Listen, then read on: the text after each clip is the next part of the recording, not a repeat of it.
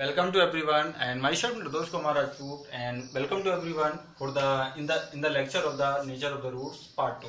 So in this lecture we will solve the a different question based upon the or nature of the roots. So it is the first question. So first of all read the question and understand what is saying and what we have to find out. So question is that given that a comma b comma c are real number, a comma b comma c are real number, then find the nature of the roots of the quadratic equation a minus b का square minus b plus c minus a x minus c equal to zero. So or solution. So for finding out the nature of the roots of any quadratic equation, first of all we have to know that the sign of the discriminant of the quadratic equation. So what is the value of the discriminant? d equal to b square minus 4 times ac of the quadratic equation in this form ax square plus bx plus c equal to 0 fine. Okay so of this quadratic equation has the discriminant equal to b square minus 4ac if we compare these two equations then we get a equal to a minus b. And b equal to minus times b plus c minus and c equal to minus c. If we put the value of a and b and c in this equation, then we get b equal to minus times b plus c minus a whole square minus 4 times a a minus b into c equal to minus c. Okay, fine. And if we solve this then we get d equal to if we expand of this formula it is the a plus b plus c ka whole square then we get b square plus c square plus a square plus 2bc minus ka m- minus times 2 uh, ba minus times 2 ac and from here and from here we get 4 times ac and minus का 4 times BC. Okay. And on the further solving, we get B square plus C square plus A square. If we if we combine BC and BC of these two terms, then we get minus times 2BC. And combine these two terms, these two terms, then we get plus 2ac and remaining term minus 2bc. So it is the whole square of it is the whole square of minus b plus c minus a plus a sorry plus a whole square. So it is the formula of minus b plus c plus a whole square. So so if so from here we get from here we get uh, minus b plus c plus a whole square. So if or there is a square of any number, then it is always greater than and equal to zero. So it is the whole square of any number, then it is also greater than equal to zero. So means b is greater than equal to zero.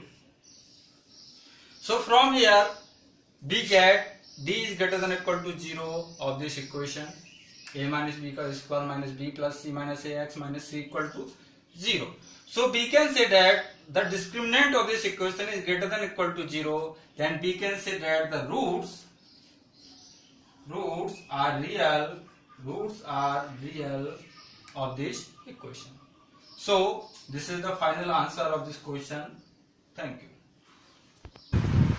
So, uh, find uh, first of all find the value of the d equal to b square minus 4ac and compare compare this equation with the standard equation x square plus bx plus c equal to 0 and then we get the value of a comma b comma c and first then after that find the value of the discriminant put the value of b and a and c and solve this equation and we, then from here we get d equal to b, b square plus c square plus a square minus 2bc plus 2ac and and sorry it is a 2ab 2ba so uh, uh, from this formula we get uh, the whole square of minus b plus c plus a then uh, if it, it is the whole square of any number then we know, we know that uh, usually we know that the square of any number is always greater than equal to 0 so the sign of the d is we get uh, greater than equal to 0 so we can say that the roots of this equation are roots are real okay fine okay so for this is the second example based on the nature of the root so read the problem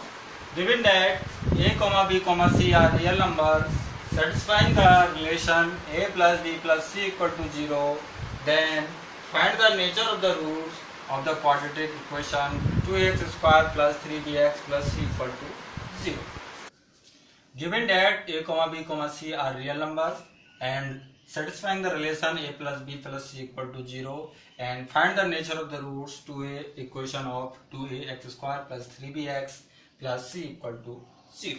So for, finding out the nature of the roots, we have to find out the sign of the discriminant of this quadratic equation.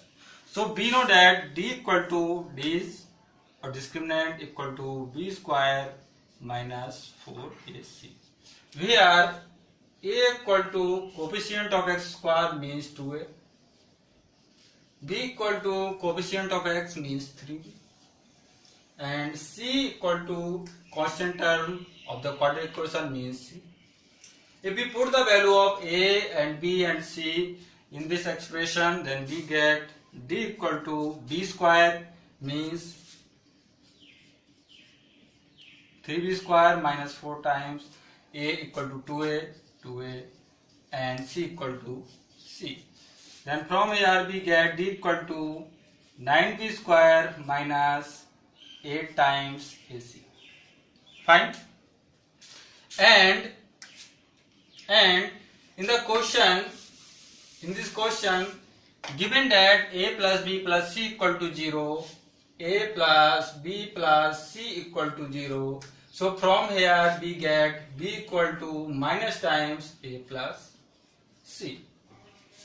So if we put b equal to minus times a plus c in this expression then we get d equal to 9 times b equal to minus times a plus c then minus times a plus c whole square minus 8 ac.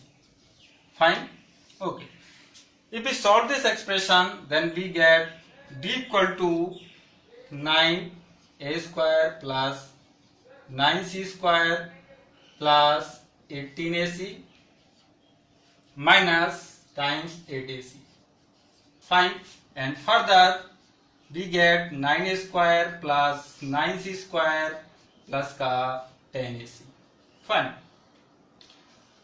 again if B और decompose of this two term then we get five A square plus का five C square plus का ten A C and remaining term is 4a square plus 4c square.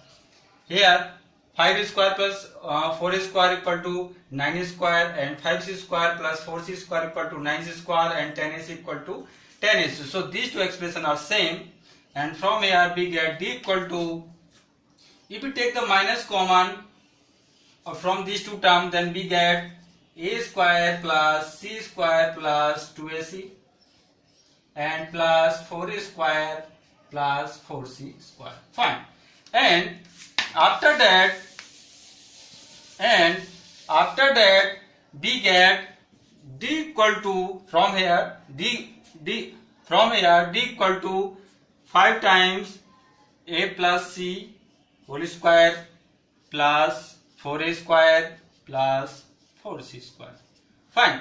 So we know that the square of any number is always greater than and equal to 0 let a is any number a is any number. If we do the square of a then it is always greater than equal to 0 fine. So it is the square of a plus c then it is always greater than equal to 0 okay. It is the 4c square then it is also a greater than equal to 0 and it is a greater than 0 it is not a greater it, is not a greater than and equal to 0 it is always a greater than 0 because because in the quadratic equation in the in this quadratic equation a is not equal to 0 so a is not equal to 0 means either a is negative and either a is positive. So if we do the square of any negative and positive number then always we get the greater than 0 so finally finally if we consider these or three or these three or three term then we get d is greater than 0 so we get the sign d is greater than 0 so if d is greater than 0 for this equation then we can say that this equation has roots has roots are real real and and unequal okay?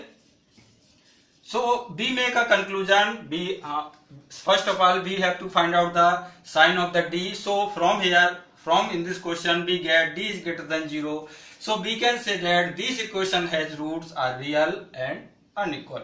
Fine. So this is the final answer of this question and this equation has the roots are real and unequal.